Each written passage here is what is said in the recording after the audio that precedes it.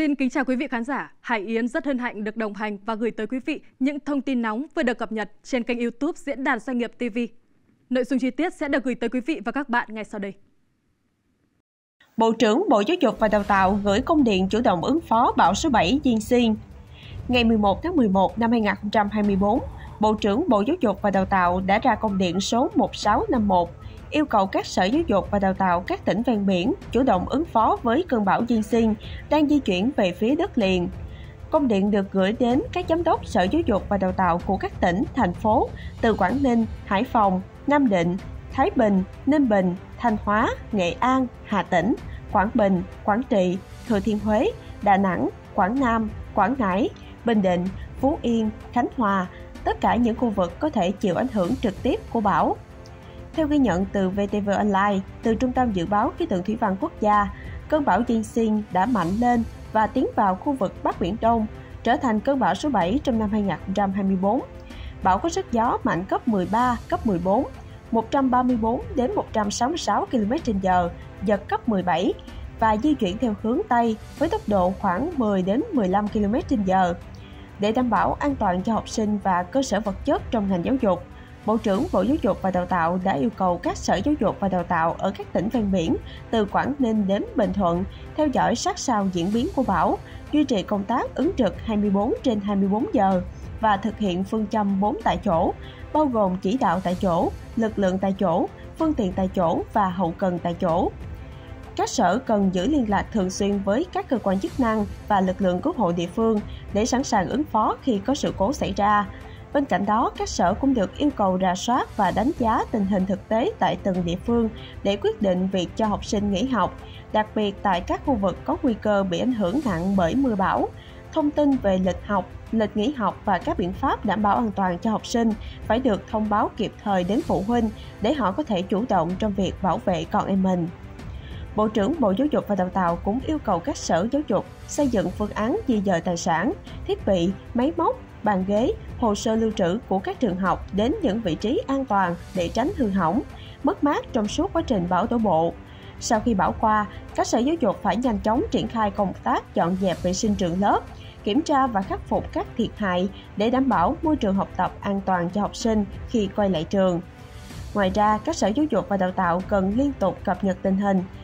tổng hợp thông tin về thiệt hại từ các trường học, lập phương án xử lý và báo cáo kịp thời cho Ủy ban Nhân dân tỉnh, đồng thời gửi báo cáo về Bộ Giáo dục và Đào tạo để tổng hợp và báo cáo chính phủ. Đây là công tác quan trọng nhằm đảm bảo an toàn cho học sinh và cơ sở vật chất ngành giáo dục trước tác động của cơn bão lớn này.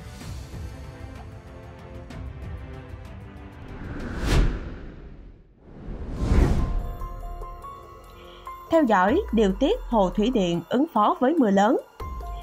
Chiều nay 11 tháng 11, Ban Chủ huy phòng chống thiên tai và tìm kiếm cứu nạn tỉnh Quảng Nam có văn bản gửi các chủ hồ thủy điện theo quy trình vận hành liên hồ chứa tại quyết định số 1865, đề nghị theo dõi thông tin, vận hành, điều tiết các hồ chứa ứng phó với mưa lớn.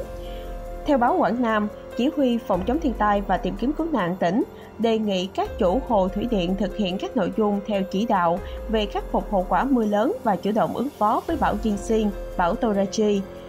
tổ chức trực ban nghiêm túc, theo dõi chặt chẽ thông tin thời tiết, tình hình mưa lũ, tăng cường thông báo, cảnh báo để đảm bảo an toàn cho người dân và các hoạt động có liên quan trên sông suối ở khu vực hạ lưu đập.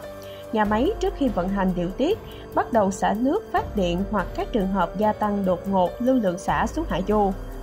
Đối với các hồ chứa có tràn xả lũ tự do, theo dõi chặt chẽ, thông báo dự kiến thời gian mực nước qua tràn đến các địa phương, nhân dân vùng hạ du, các đơn vị liên quan để chủ động ứng phó. Phối hợp với cơ quan chức năng các huyện, thị xã, thành phố liên quan tổ chức tuyên truyền cho nhân dân về công tác vận hành, điều tiết các hồ chứa thủy điện, kỹ năng phòng tránh tai nạn đuối nước khi sản xuất, đi lại tại khu vực sông suối hạ du của các nhà máy thủy điện tổ chức quan trắc các yếu tố khí tượng thủy văn trên lưu vực hồ, đảm bảo dự báo được lưu lượng lũ về hồ, xác định thời gian xuất hiện đỉnh lũ, chủ động cung cấp thông tin, số liệu quan trắc, dự báo, báo cáo, đề xuất đảm bảo quy định quy trình 1865. Cập nhật số liệu trên website pctt.quảng nam.gov.vn của Ban Chỉ huy Phòng chống thiên tai và tìm kiếm cứu nạn tỉnh Quảng Nam tính toán xây dựng các kịch bản vận hành, điều tiết hồ chứa gửi về Văn phòng Thường trực Ban Chỉ huy Phòng chống thiên tai và tìm kiếm cứu nạn tỉnh để phục vụ công tác theo dõi, tham mưu chỉ đạo vận hành, điều tiết hồ đảm bảo. Chủ động tính toán, tổ chức vận hành đảm bảo mực nước hồ thủy điện sông Bung 2, sông Bung 4, sông Tranh 2 không vượt cao trình mực nước đón lũ thấp nhất và chuyển chế độ vận hành theo quy định tại quy trình 1865. Công ty cổ phần Thủy điện A Vương tổ chức vận hành đảm bảo mực nước hồ thủy điện A Vương không lớn hơn cao trình 373 m, chuyển chế độ vận hành theo quy định tại quy trình 1865. Công ty cổ phần Thủy điện Đắc Mi tổ chức vận hành nhằm hạ dần mực nước hồ thủy điện Đắc Mi 4 về cao trình 251,5 m trước 19 giờ ngày 12 tháng 11. Thời gian bắt đầu vận hành từ 19 giờ ngày 11 tháng 11 chuyển chế độ vận hành theo quy định tại quy trình 1865. Việc tổ chức vận hành phải đảm bảo không gây dòng chảy đột biến, bất thường đe dọa trực tiếp đến tính mạng và tài sản của người dân khu vực ven sông Hạ Du hồ chứa. Thông tin, thông báo đến chính quyền, nhân dân vùng Hạ Du về công tác vận hành, điều tiết hồ.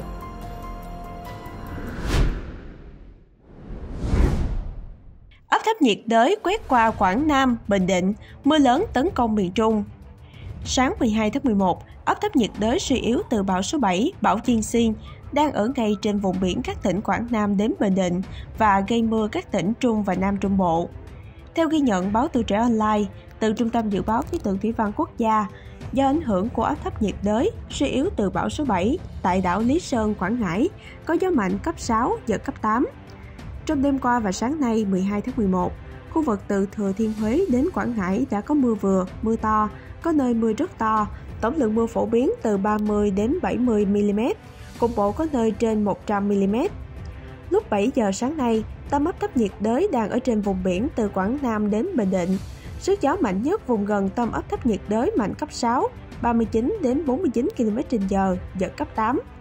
Dự báo trong ngày hôm nay, áp thấp nhiệt đới di chuyển theo hướng Tây Nam và suy yếu thành vùng áp thấp trên vùng ven biển các tỉnh Quảng Ngãi đến Phú Yên,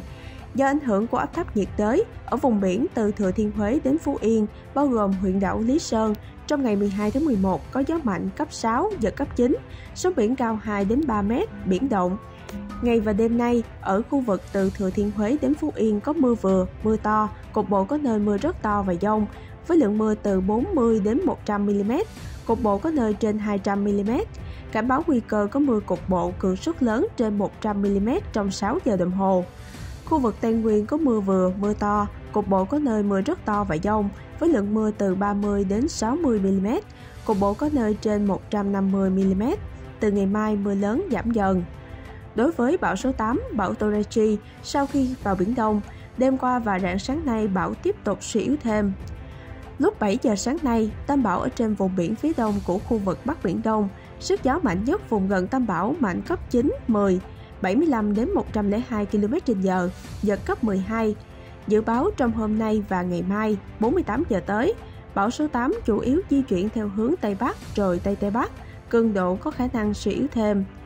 7 giờ sáng 14 tháng 11, tâm bão ở trên vùng biển phía Bắc khu vực Bắc Biển Đông. Lúc này bão mạnh cấp 8, 62 đến 74 km/h, giật cấp 10. Sau đó bão Torachi đổi hướng di chuyển theo hướng Tây Tây Nam và suy yếu dần thành áp thấp nhiệt đới trên khu vực Tây Bắc của Bắc Biển Đông, rồi suy yếu thành vùng áp thấp ở trên vùng biển phía đông đảo Hải Nam của Trung Quốc. Do ảnh hưởng của bão số 8 ở vùng biển phía đông, khu vực Bắc Biển Đông gió mạnh cấp 6, sau tăng lên cấp 7, 8, vùng gần tâm bão đi qua cấp 9, 10, giật cấp 12, sóng biển cao 3 đến 5 mét vùng gần tâm bão 5 đến 7 m, biển động rất mạnh. Tàu thuyền hoạt động trong các vùng nguy hiểm nói trên đều có khả năng chịu tác động của dông, lốc, gió mạnh và sóng lớn.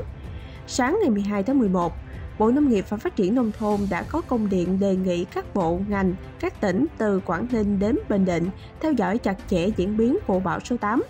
tổ chức kiểm đếm, thông báo cho chủ các phương tiện, thuyền trưởng các tàu thuyền đang hoạt động trên biển biết vị trí, hướng di chuyển và diễn biến của bão để chủ động phòng tránh, thoát ra hoặc không di chuyển vào khu vực nguy hiểm hoặc về nơi tránh trú an toàn.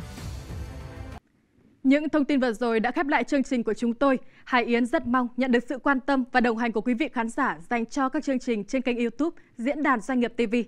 Quý vị đừng quên nhấn chuông theo dõi kênh để không bỏ lỡ bất kỳ thông tin cập nhật nào. Xin kính chào tạm biệt và hẹn gặp lại.